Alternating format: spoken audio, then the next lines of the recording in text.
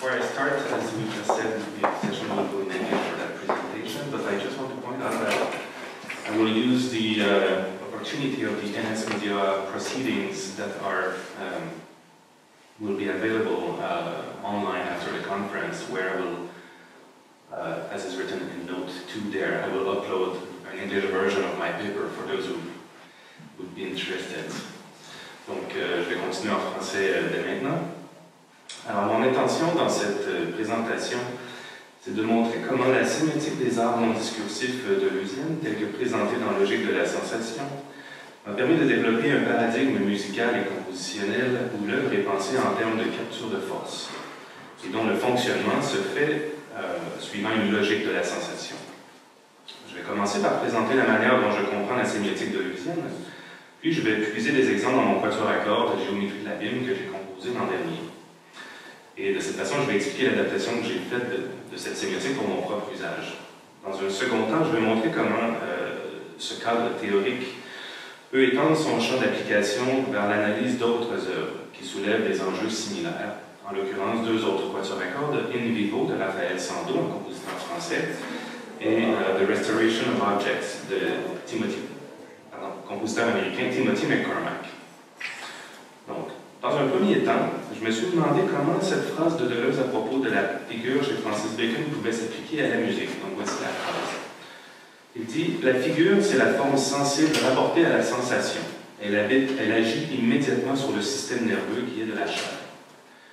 Je voulais donc trouver un moyen d'ancrer ma pensée musicale dans le corps, au-delà ou en deçà des critères d'organisation qu'on associe habituellement aux musiques discursives ou narratives, et ce, de la même manière où Deleuze explique comment la peinture de Bacon arrive à se soustraire aux impératifs du figuratif.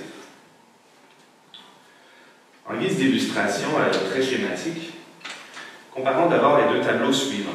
Alors, du côté de Oreste, poursuivi par les furies, le signe pictural affecte le corps, bien sûr, par son modelé, sa texture, son mouvement. Mais il produit aussi de la signification.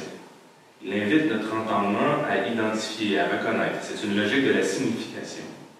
Chez Pollock, l'image picturale se présente plutôt comme fait matériel. Il y a aussi de la matière, du modelé, texture et mouvement. Mais on évite la médiation d'une trame signifiante ou illustrative. Cette matière se rapporte donc essentiellement au corps, au système nerveux. Il s'agit d'une logique de la sensation. Comme on le sait, Deleuze utilisera le terme essayité pour nommer ces singularités pré-individuelles bien formées, mais qui ne s'instaurent pas pour autant comme un sujet, une substance. Pour moi, il s'agissait alors de savoir ce que pouvait bien être une essayité dans le domaine musical, dans le domaine du sonore. La piste de réponse que j'ai poursuivie s'est alimentée au paradigme figural que Deleuze développe à propos de la, pratique de Francis Bacon. Dans ce paradigme, la figure est considérée comme une essayité en tant qu'elle retient de l'abstraction l'absence de narration, mais conserve du figuratif la dimension formelle et bien identifiable des singularités picturales. Il y a un corps, mais non un personnage, une tête, mais pas de visage, et quelques éléments de fond et de décor comme détachés de tout lieu reconnaissable. Pour Deleuze, cette logique permet de rapporter l'événement pictural au domaine de la sensation, sans le détour de l'histoire à raconter, qui plus est avec une force redoutable qui lui vient justement de son emprunt figuratif. En effet, pour être en mesure de produire du discours, la figure classique doit être très précise. C'est ce qui lui permet de s'imprimer clairement et sans détour dans le corps, mais aussi dans l'entendement qui devra suivre les mises en relation narrative. Avec le figural, ces opérations sont vite court-circuitées, les opérations de reconnaissance, euh, d'écoute narrative, ce qui laisse toute la place à l'aspect plus sensoriel, donc à la puissance euh, fulgurante de la figure.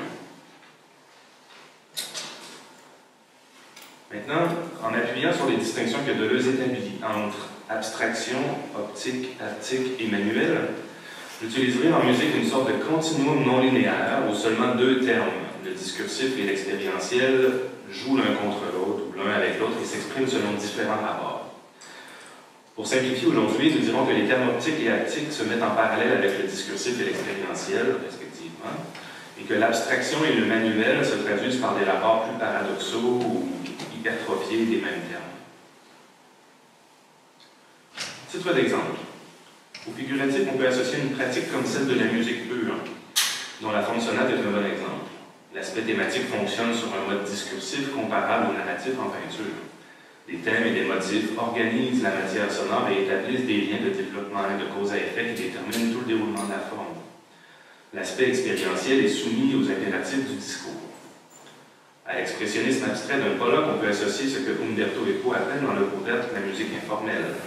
Le foisonnement chaotique du fait sonore évince ainsi toute possibilité de discursivité. C'est un exemple où une sorte d'hyper expérientiel l'emporte définitivement sur le discursif. Enfin, de même que pour le, figural chez Bacon, nous dirons que certaines musiques conservent la clarté de contour du thématisme, mais en rejettent les mécanismes rhétoriques ou narratifs, créant ainsi un équilibre où un minimum de discursif subsiste afin de libérer l'expérientiel, mais sans tomber dans l'extrême de l'informel. C'est à cette stratégie que j'associe mon travail compositionnel autour de ce que j'appelle la figure performative. Comme on le sait, Deleuze dira la musique doit rendre audibles des forces inaudibles. C'est ce que réalisent a priori toutes les musiques de toutes les époques. Toutefois, à mon sens, la force de sa sémiotique, c'est de proposer que dans une logique de la sensation, on arrive à se situer au plus près de la capture, c'est-à-dire à sinon éviter, du moins minimiser l'accumulation de couches et de strates signifiantes qui viendraient médiatiser l'expression des forces.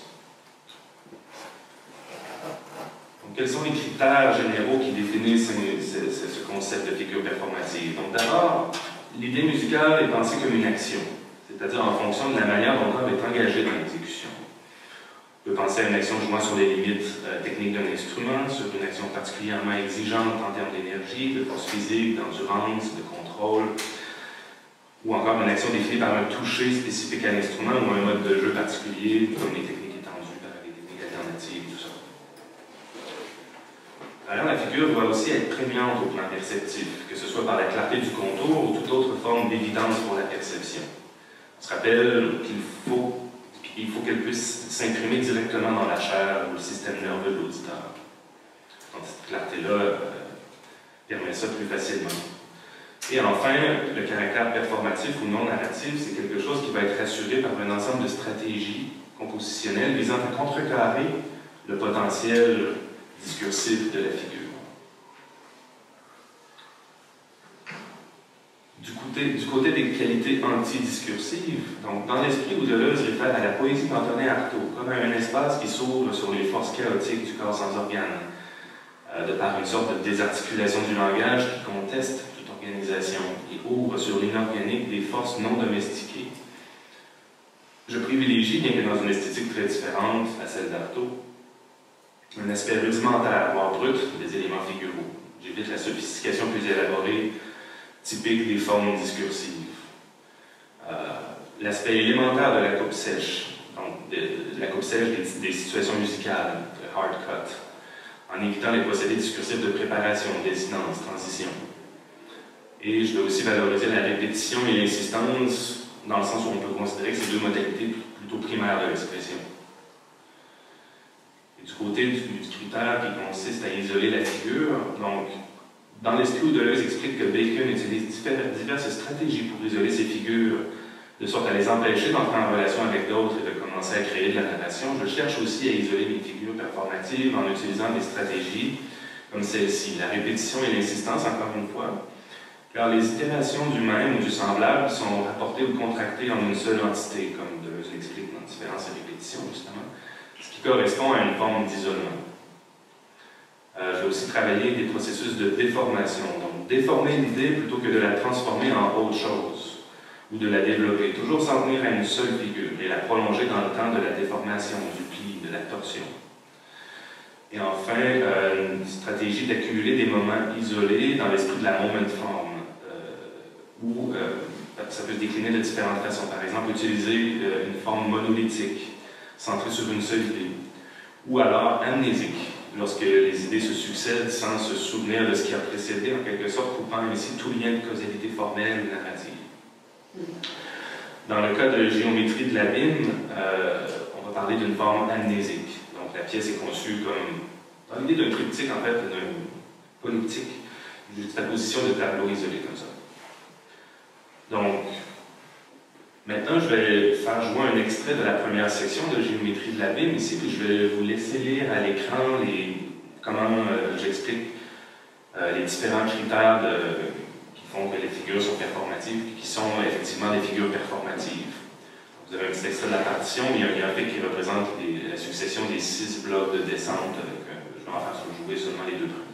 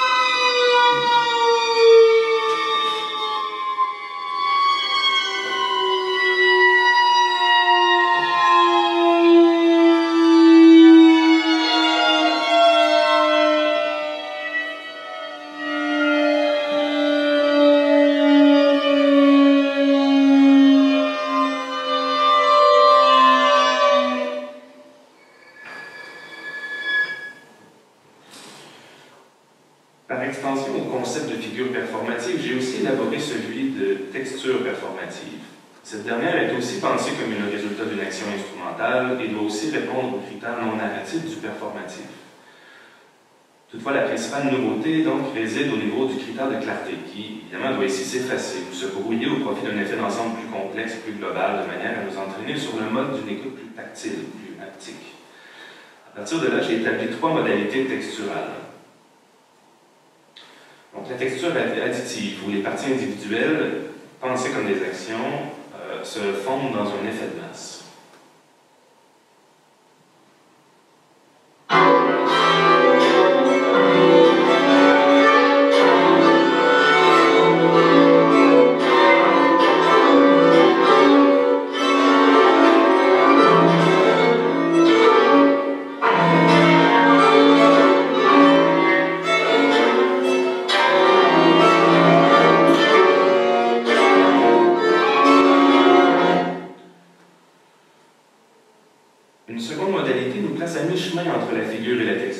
c'est ce que j'appelle la figure texturale. Lorsqu'un matériau au contour figural plutôt bien défini se présente tout de même avec une matérialité assez riche pour se rapprocher du textural. Dans le prochain exemple, la figure est sculptée dans l'échelle harmonique de la fondamentale de Sol, ce qui lui donne un modelé de nature spectrale qui complexifie sa sonorité.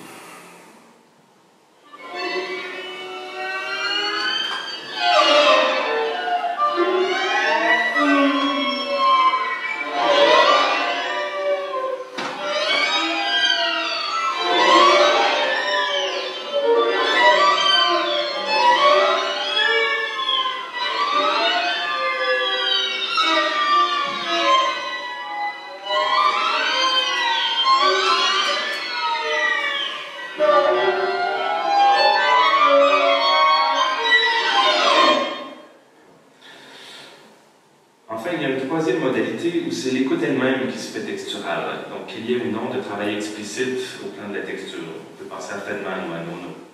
Où un étirement radical du temps suffit à éviter l'écoute à se faire attentive aux moindres variations dans la texture du son.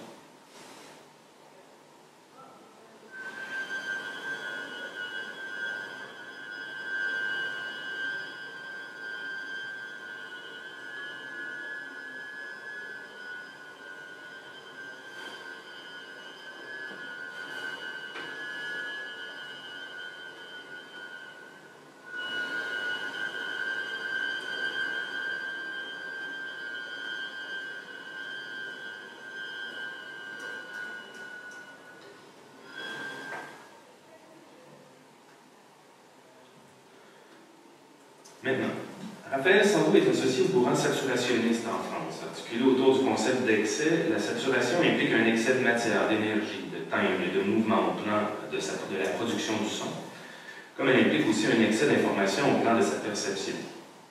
L'idée musicale est donc essentiellement pensée comme une action qui doit saturer le son et l'espace sonore. L'action instrumentale se pose ici d'une manière générale au moins trois des quatre critères que nous avons préalablement établis. Jouer aux limites techniques de l'instrument, une grande exigence physique et l'utilisation de modes de jeu spécifiques qui produiront des sons complexes. Concernant la clarté figurale, on remarquera que des contours gestuels très bien dessinés, mais en quelque sorte souvent brouillés, comme on peut voir un peu à l'écran.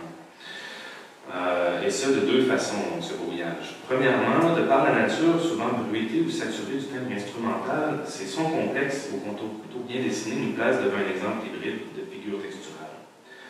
Deuxièmement, cette clarté figuro-texturale tend à être noyée dans la densité de la texture de l'ensemble elle fonctionne majoritairement selon ce que Sando appelle la démultiplication des gestes instrumentaux, fonctionnant donc sur le mode de la texture additive. Au plan des qualités antidiscursives, c'est en revendiquant un passage de l'animalité au total saturé que Sando situe son approche du côté d'un certain primitivisme, où il n'est plus question de vouloir domestiquer des sons ou une forme ou de civiliser un geste, mais plutôt, et comme il le dit lui-même, d'agir en primitif tout en pensant en stratège. Maintenant, c'est justement au niveau des stratégies d'organisation formelle que la pratique de Sando s'éloigne de l'autre critère qui était celui du performatif ou du non-narratif. En effet, si toutes les conditions initiales du matériau sont réunies pour installer une écoute plus expérientielle, la manière d'insérer les idées musicales à l'intérieur de relations formelles organisantes replace du côté du discursif. En refusant d'isoler la figure, en utilisant une forme où les idées reviennent, s'alternent, se présentent comme le développement ou la transformation d'une autre, on ne peut éviter de tomber sur le mode d'une écoute discursive. Nous parlerons donc d'une tension entre l'expérientiel et le discursif. Sando conserve une discursivité au plan de la forme, mais travaille des matériaux de nature a priori beaucoup plus expérientielle par leur complexité. Dire ça aussi à propos de la musique acoustique de électroacoustique de tradition, euh, musique concrète, par exemple, à un certain point, pour certaines œuvres.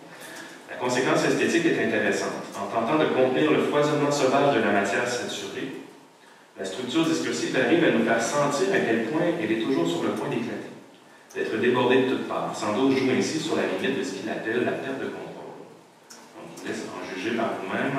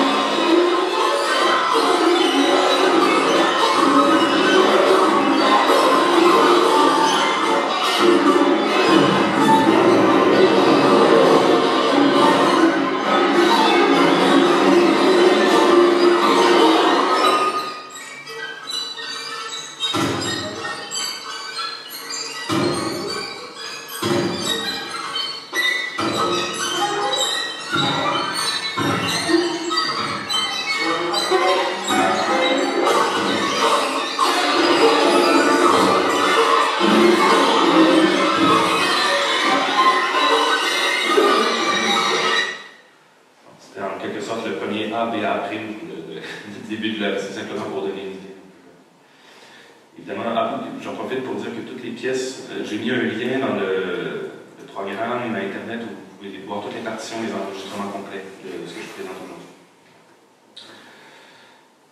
Instrumental Mechanism and Physicality as Compositional Resources est le titre de la thèse de doctorat de Timothy McCormack et se situe d'emblée l'enjeu de sa démarche. L'objet de la composition est la tension qui se crée dans le contact entre la mécanique instrumentale et la physicalité du jeu de l'interprète.